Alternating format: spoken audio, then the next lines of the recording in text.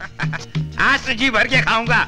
शीला एक बार इस घर की बहू हो जाए तो यहाँ का पानी पीना भी बंद हो जाएगा। मेरी मानिए अंकल तो जल्दी से शादी की तारीख तय कर दीजिए। क्यों भैया? हाँ।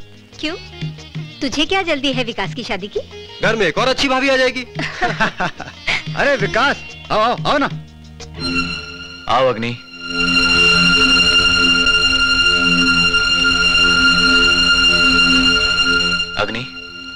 आशीर्वाद लो भैया भाभी से। रुक जाओ वहीं पर। कौन है ये लड़की? भैया ये मेरी पत्नी है। पत्नी? इसको किसने पसंद किया इस घर की बहू बनने के लिए? और किसकी आज्ञा से तुमने शादी की? भैया और इतनी जल्दी और चोरी से शादी करने की ज़रूरत क्या थी तुम्हें? शादी के बाद तुम्हें अपनी भाभी और भैया की याद आई? उससे पहले ये नहीं सोचा कि हमारे भी कुछ अरमान है कुछ चाव है कुछ कमिटमेंट है कुछ जिम्मेदारियाँ हैं। हम तुम्हारी शादी द्वारका दास जी की बेटी से तय कर चुके हैं। इस बात की खबर है कि नहीं तुम्हें? जी एक बार बात हुई थी। शरीफ लोगों के लिए बात का एक बार हो जाना पत्थर पे लकीर की तरह होता है। जब तुम्हें मालूम था कि तुम्हारी शादी शीला के साथ तय हो चुकी है तो तुमने इस तरह हमसे बगैर पूछे शादी करने की ज़रूरत कैसे की? ऐसी ही कुछ मजबूरी थी भैया। तो क्या वो मजबूरी तुम अपनी भाभी या मुझे नहीं बता सकते थे? अरे क्या मर गए थे हम लोग? क्या इसी दिन के लिए अपना खून पसीना एक करके पाला था तुम्हें? चले जाओ से। निकल जाओ। सुनिए। सावित्री तुम बीच में मत बोलो। विकास चले जाओ यहाँ से। और आइंदा कभी अपनी सूरत मत दिखाना। जैसी आपकी मर्ज़ी भैया। चलो अग्नि। रुक जाओ विकास? सावित्री।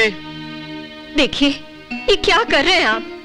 घर आई लक्ष्मी को बाहर निकाल रहे हैं? सुनिए आज तक मैंने आपसे कुछ नहीं मांगा। आज झोली फैलाकर आपसे भीख मांगती हूँ। बहू को गृह प्रवेश कर लेने दीजिए। सावित्री। सुनिए अगर आपने मेरी बात नहीं मानी तो इनके साथ मैं भी घर छोड़कर चली जाऊँगी। भाभी ठीक कहती है भैया। जो होना था वो हो गया। अब गुस्सा थूक दीजिए। ठीक है। जैसा तुम लोग ठीक समझो। धनराज मेरा कर्जा उतारने का जल्दी से इंतज़ाम करो। कहो तो कोई गिराक भेज दूँ? घर भेज के कर्जा उतार देना। समझे?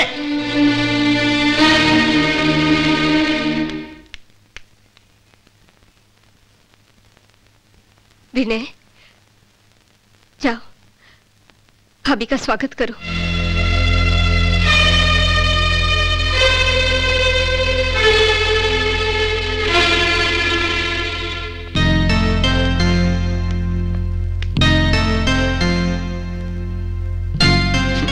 वाह क्या मुबारक कदम पड़े हैं। आते ही घर की बिक्री का इंतज़ाम हो गया।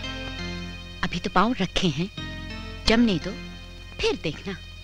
ना तो ये घर रहेगा और ना इस घर में मुझे आने से रोकने वाले। मेरा आशीर्वाद हमेशा तुम्हारे साथ रहेगा।